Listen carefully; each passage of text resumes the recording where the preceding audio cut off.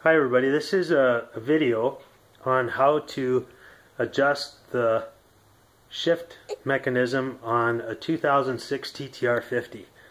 Um, my boy was riding it and was having a hard time shifting it so I wanted to uh, adjust that to make sure that it was as easy as it could possibly be.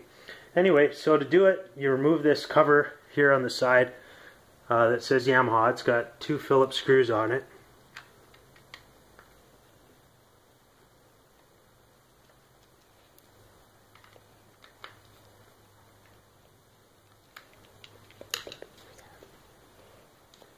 remove the cover,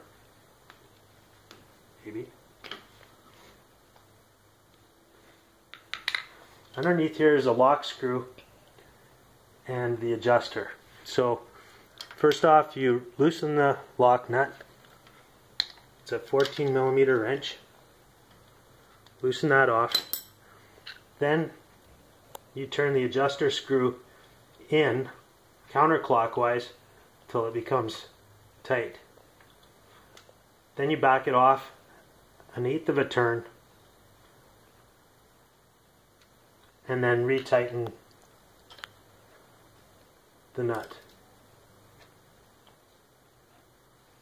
And that is meant to be tightened to 4.3 foot-pounds but it's kind of hard to put a torque wrench on there.